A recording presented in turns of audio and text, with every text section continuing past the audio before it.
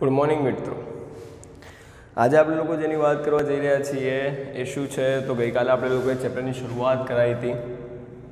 આપણું chapter number પાંચ, બરાબર કે? જેની અંદર આપણે લોકોએ લિંગ નિશ્ચયન કરવાની શરૂઆત કરી હતી. જેની શરૂઆત કરી હતી? લિંગ નિશ્ચયન. રેડી પ્રાણી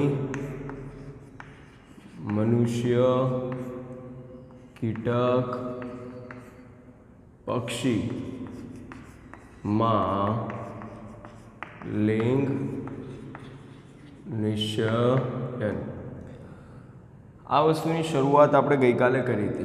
પ્રાણીમાં જોયું, મનુષ્યમાં જોયું, કીટકમાં જોયું, એવી જ રીતે પક્ષીમાં જોયું. જ્યારે આપણને અલગ કોનું લાગ્યું હતું, તો પક્ષીનું.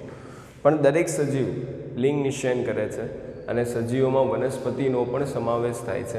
એટલે આજે આપણે જેની વાત કરવાની છે, શું છે? તો કે વનસ્પતિમાં લિંગ નિશ્ચય વનસ્પતિમાં લિંગ નિશ્ચય. સેમ આપણી રીતે જ છે. કોઈ ફરક નથી પડતો. વનસ્પતિમાં પુકેસર અને સ્ત્રી કેસર જેવા બે ભાગ રચાય છે, જેને આપણે લોકો લિંગી વનસ્પતિ તરીકે ઓળખીએ છીએ, બરાબર? તમને પણ ખબર છે કે લિંગી કોને કહેવાય? કેમ કે આપણે ઓલરેડી પહેલો પાઠ ભણી ગયા છીએ. લિંગીમાં પુકેશર અને સ્ત્રીકેશર બંનેનો સમાવેશ થતો જોવા મળે છે. જેમાં લિંગ નિશ્ચયન એટલે કે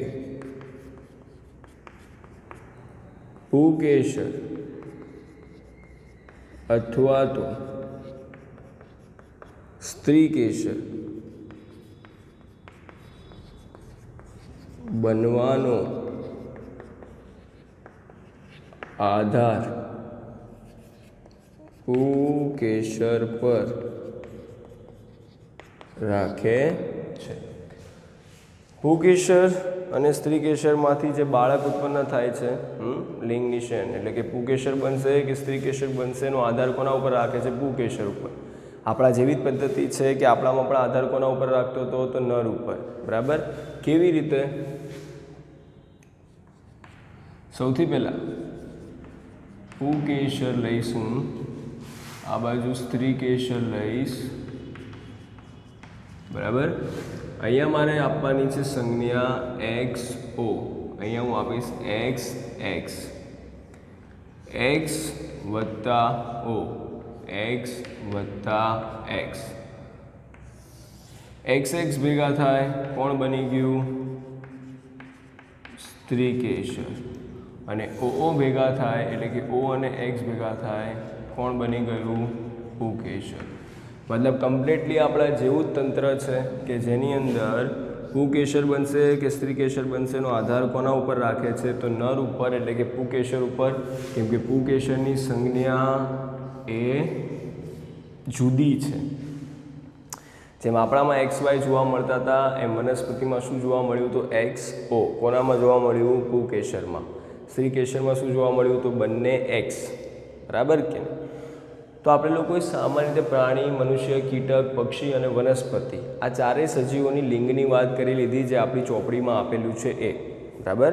હજી આપણી ચોપડીની અંદર એક થિયરી આપેલી છે, જે થિયરીને મધમાખીના લિંગ નિશ્ચયન તરીકે નામ આપેલું છે. બરાબર કે નહીં? કોના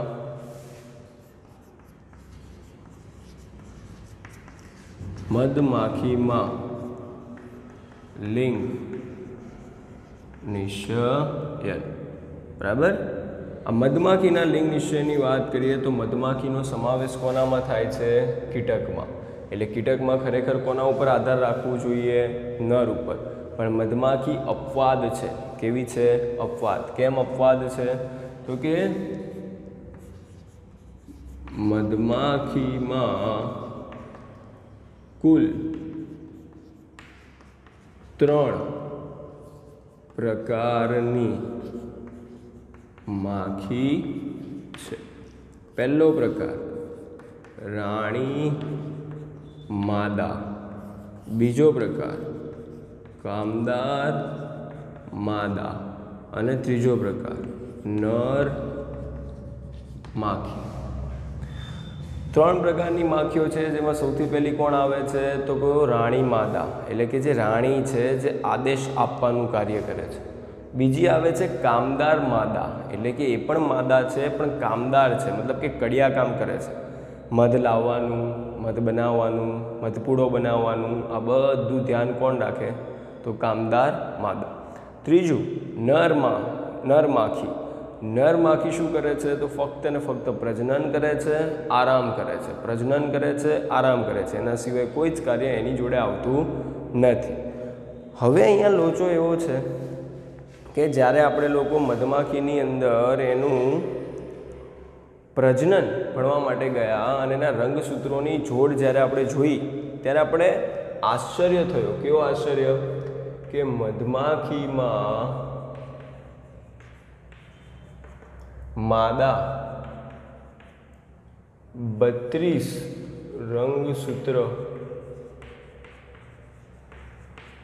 ધરાવે છે. કેટલા રંગસૂત્ર ધરાવે છે બત્રીસ. જ્યારે નર સોળ રંગસૂત્ર ધરાવે છે. કેટલા ધરાવે છે? સોળ રંગસૂત્ર ધરાવે છે. માદા બત્રીસ રંગસૂત્ર ધરાવે છે. એટલે કે માદા જે છે એ નર કરતાં બમણા રંગસૂત્ર ધરાવે છે. હવે લોચો કેવો થાય? કે અહીંયા હું લખી દઈશ મા દા આ બાજુ ન ર. માદાની અંદર આવેલા છે બત્રીસ રંગસૂત્ર. નરમાં આવેલા છે સોળ રંગસૂત્ર. આ બંનેની વચ્ચે પ્રજનન થયું. બરાબર કે? પ્રજનન દરમિયાન આના આપણે છૂટા પાડી દઈએ. સોળ? સોળ. રેડી પ્રજનન દરમિયાન. જો નરના સોળ અને માદાના સોળ જોડાય, તો બત્રીસ રંગસૂત્ર બને. અને બત્રીસ રંગસૂત્રો બન્યા એટલે ઈંડામાંથી કોણ આવે? માદા. અને પ્રજનન દરમિયાન, કાં તો નરના, કાં તો માદાના અડધા, મતલબ કે આટલા, સોળ રંગસૂત્રોનું ફલન થાય, તો એ વખતે શું બને? નર. મતલબ કે નર બનવા માટે ઈંડામાંથી નર બનવા માટે અડધા રંગસૂત્રની જરૂર પડે છે. જ્યારે માદા બનવા માટે બંનેના સોળ સોળ રંગસૂત્રની જરૂર પડે છે. આવ્યો ખ્યાલ? એટલે આપણે જે પણ કંઈ લિંગ નિષેન અત્યાર સુધીનું ચોપડીની અંદર આપેલું છે, જેમાં મનુષ્યનું છે, બરાબર? એવી જ રીતે પ્રાણી, કીટક, પક્ષી આ બધાની એક સામાન્ય માહિતી છે, તમને ચાર્ટ જોવા મળશે, જેમાં પક્ષીનું અલગ પડે છે. વનસ્પતિના વિશે પણ આપણે વાત કરી લીધી છે, મધમાખીના વિશે પણ વાત કરી લીધી છે. પછી આપણને મનમાં એક એવો વિચાર આવ્યો કે ભાઈ મધમાખી કીટક છે, બરાબર? એવી જ રીતે જે ડ્રોસોફિલા છે, એ ડ્રોસોફિલા પણ શું છે? તો કે કીટક છે. તો કે મધમાખીની અંદર જો આપણને આવી રચના જોવા મળી, તો શું બીજા કીટકમાં પણ આવી રચના હશે? એટલે આપણે લોકો એક નાનું એવું પ્રજનન કર્યું ડ્રોસોફિલામાં. કોનામાં કરાવડાયું? ડ્રોસોફિલા માખી ડ્રોસોફિલા માખીની અંદર આપણે સંકરણ કરાવ્યું. સંકરણ કરાવ્યું ત્યારે આપણને ખબર પડી. ચાર જોડ રંગસૂત્ર ધરાવે છે. ચાર જોડ રંગસૂત્ર ધરાવે છે. મેં ગઈકાલે જ તમને શીખવાડ્યું હતું કે જે ટોટલ જોડ છે એમાંથી એક માઇનસ કરી દેવાની છે. એટલે અહીંયા હું એમ લખું કે દૈહિક જોડ દૈહિક જોડ. તો કેટલી થાય? ત્રણ જોડ. એટલે કે ત્રણ એ એ. લિંગી જોડ. કેટલી થાય? એક જોડ. જેમાં નર તરીકે ત્રણ એ એ વત્તા એક્સ વાય. માદા તરીકે ત્રણ એ એ વત્તા એક્સ એક્સ. થશે? એની એ જ વસ્તુને છૂટી પાડો. ત્રણ એ વત્તા એક્સ, ત્રણ એ વત્તા વાય. અહીંયા પણ. ત્રણ એ વત્તા એક્સ, ત્રણ એ વત્તા એક્સ. પાડ્યા છૂટા? જોડી દઈએ. એક્સ જોડે એક્સ ગયું. ત્રણ એ એક્સ એક્સ. કોણ બની ગઈ? માદા ડ્રોસોફિલા વાય જોડે એક્સ ગયું, ત્રણ એ એ વત્તા એક્સ વાય કોણ બની ગયું? નર ડ્રોસોફિલા. બની ગયું? મતલબ મધમાખી જેવી રચના આપણને બીજા કીટકમાં જોવા મળી નહીં. અને જેથી આપણે સાબિત કર્યું કે મધમાખી એક અપવાદ માખી છે કે જેમાં ફક્ત ને ફક્ત આવી રચના જોવા મળે છે. બાકી બધા જે કીટકો છે, એ સાદી રચના ધરાવે છે, મનુષ્ય જેવી જ રચના ધરાવે છે, જેમાં નર દ્વારા લિંગનું નિશ્ચયન થતું હોય છે. પડી ખબર? એટલે આવી રીતની વસ્તુ છે કે જે લિંગ નિશ્ચયનું પરિણામ આપે છે. હવે જ્યારે તમે ચોપડી ખોલશો, ત્યારે આપણે લોકોએ શરૂઆતમાં મેન્ડલના પ્રયોગોની વાત કરી હતી. પછી મોર્ગનના સામાન્ય પ્રયોગોની વાત કરી હતી. પછી વચ્ચે તમને મોર્ગનના હજી પ્રયોગો જોવા મળશે, જેને સંલગ્નતા અને વ્યતિકરણ કહેવામાં આવે છે. એને અત્યારે આપણે લોકોએ બાકી રાખેલા છે. અને આપણે ડાયરેક્ટ લિંગ નિશ્ચયન ઉપર આવ્યા છીએ. કેમ? કેમ કે હવે લિંગ નિશ્ચયન આપણે લોકોએ સમજી લીધું છે, એટલે હવે આપણે પાછું આગળના જે ટોપિક બાકી રહ્યા છે, એની ઉપર જવાનું છે. બરાબર? પણ હજી એક લેક્ચર આપણે લોકો લિંગ નિશ્ચયનમાં લઈશું. કેમ કે આ લિંગ નિશ્ચયન આપણે એટલું ભણ્યા છીએ કે જે ચોપડીમાં આપેલું છે. હવેનો જે લેક્ચર આવશે લિંગ નિશ્ચયનવાળો એ ચોપડીમાં નથી આપેલા એવાળા ટોપિકનો આવશે. પછી આપણે લોકો લિંગ નિશ્ચયન સમજી ગઈને ક્યાં જવાના છીએ તો આગળના ટોપિકમાં. એને સમજીશું અને પછી આપણે આપણા ચેપ્ટરના બીજા નંબરના ભાગ વિકૃતિની શરૂઆત કરીશું. બરાબર કે નહીં? ત્યાં સુધી દરેક લોકોએ આ પાઠને એકદમ સમજીને રાખવાનો છે. કન્ફ્યુઝન લાગે તો મને પૂછતા રહેવાની છે. બરાબર કે નહીં? Thank you